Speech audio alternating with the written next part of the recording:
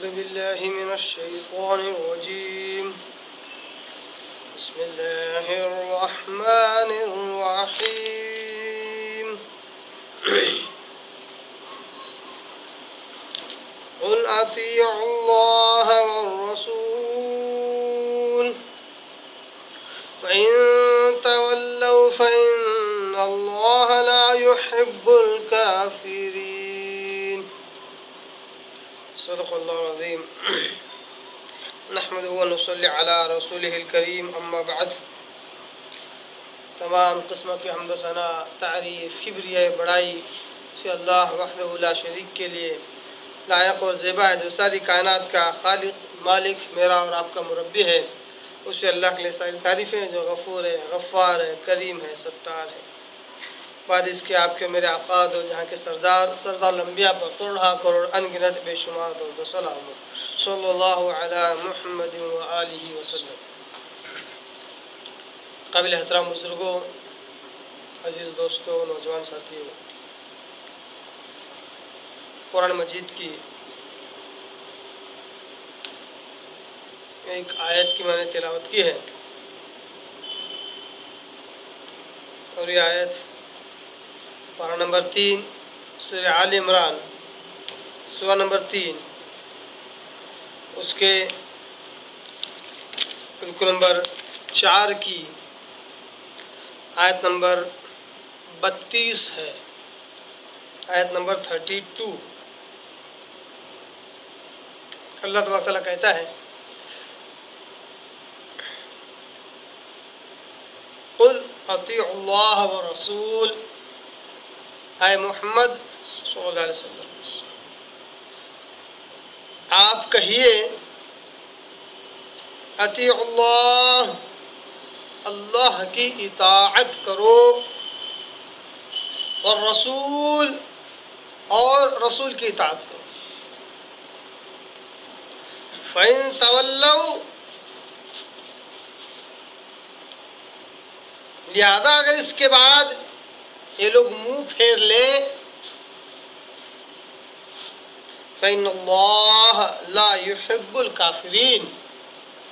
तो बेशक अल्लाह तबारक ताला काफिरों से मोहब्बत नहीं रखता। काफिरों को महबूब नहीं रखता। आयत बहुत छोटी और मुख्तसर सी नज़र आती है। मगर अगर कहा जाए तो पूरे शरीयत का इन्हिसार इसी एक आयत पर है। पूरे इस्लाम, पूरा इस्लाम इसी पर डिपेंड है, मुनहसर है।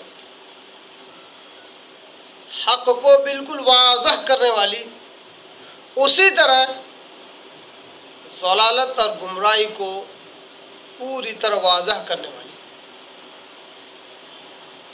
हर जमाने में काम आने वाली आयत आयत नंबर बत्तीस। इस किस्म की आयतें कुरान मजीद में। दूसरे मुकाम पर भी हैं, मगर ये आयत जिस आयत के बाद आई है, उसके बाद इस आयत में और चार चाँद लग गए। सोने पर सुहागा हो गया है। उसकी जीना तो खूबसूरती और उसका कमाल और उसका हौसला जमाल और बढ़ गया है। आयत छोटी है, मगर जो मजमून इसमें पाया जाता है, वो बड़ा ही, वाकई बड़ा ही ज़बरदस्त मजमून है। अगर कोई शख्स चाहता है कि क़यामत तक हक पर रहे और गुमराही उसके करीब ना आए तो ऐसी आयतों पर गौर करना चाहिए। ऐसी आयतों का जो माना मफहूम है, उसको अपने ज़िंदगी में उतारना चाहिए। और इनसे एक इंच बराबर भी गाफिल न होना चाहिए। तब जाकर वो इनशाला चाहे छोटी क़यामत हो, चाहे बड़ी क़यामत, यानी चाहे मौत हो, चाहे वो आने वाली क़यामत हो, उस वक्त तक इन लजीज़ हक पर रहेगा। और जो गुरो इस किस्म की आयतों को अपने लिए उसूल और जवाबित बनाते हैं, ऐसी ग्रोह कभी गुमराह नहीं होते। क्योंकि इसके ताल्लुक से अल्लाह तबारक खुद ऐसे लोगों का नासिर और मददगार पैराकम ऐसे अकायद रखने वाले, ऐसे उसूल जवाबित रखने वालों के पैराकम खुद नासिर, मददगार, सपोर्टर। यह आयत की खसूसियत और बढ़ गई पिछली आयत से। इसलिए आई पिछली आयत का एक बार लफ्जी तर्जुमा आपके रखता हूँ। सूर्य आलमान की आयत नंबर इकतीस थर्टी वन अल्लाह तबाक तला कहता है तुम तो आए यहूदियों और और ईसाइयों और इनके अलावा क़यामत तक आने वाले इंसानों, इन कुन तुम तो अल्लाह। अगर तुम अल्लाह से मोहब्बत करते हो या मोहब्बत करने का दावा करते हो फतबिऊनी तो तुम मेरी इत्तेबा करो। मेरी इताअत करो।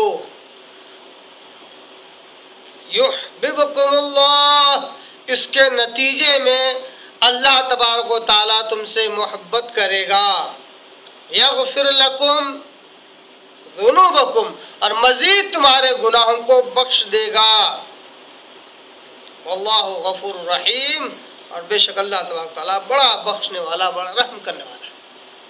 आयत नंबर इकतीस में अल्लाह तबारक ताला ने कसौटी दी, एक मैार दिया कि किस किस शख्स की मोहब्बत, वाकई मोहब्बत है, और किस किस शख्स का दावा, वाकई सच्चा दावा है तो अल्लाह ने कहा कि अगर तुम अल्लाह से मोहब्बत का दावा करते हो तो मेरे नबी की इत्तेबा करो तब जाके तुम्हारा दावा सच्चा होगा। तुम्हारा दावा कब सच्चा होगा?